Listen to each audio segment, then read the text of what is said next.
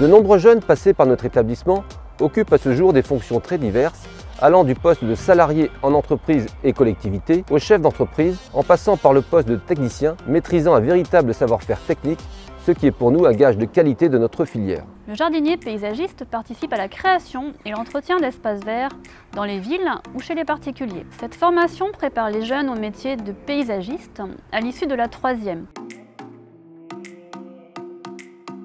La formation s'effectue au lycée ainsi qu'en entreprise avec trois mois de stage, ce qui permet une bonne intégration dans les équipes et la participation à de nombreux chantiers.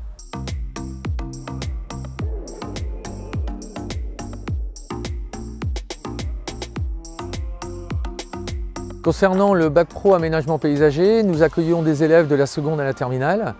Donc des élèves qui proviennent de 3e euh, 3e professionnel et puis également de CAP euh, jardinier paysagiste. Le titulaire du bac pro aménagement paysager est en capacité donc, de préparer, d'organiser et d'exécuter euh, les travaux d'aménagement paysager. Il doit s'occuper également de l'entretien et de la sécurité du matériel utilisé.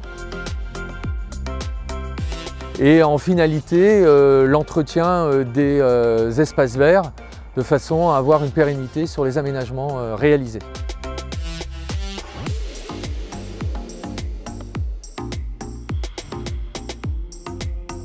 C'est le fait de, toucher au vert, d'avoir euh, rapport à la nature, les fleurs, l'extérieur, de pouvoir respirer tout en touchant la fleur, en, prenant soin euh, du végétal et en apprenant beaucoup de choses.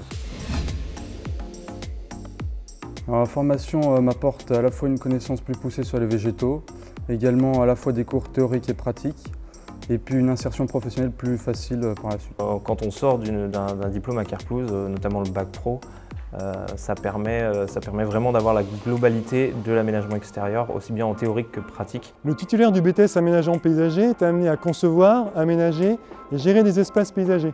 Le BTS forme des jeunes qui devront s'adapter à des échelles de chantiers différentes. Ils doivent développer leur culture paysagère, leur connaissance du métier, leur goût pour le végétal et les projets d'aménagement en général.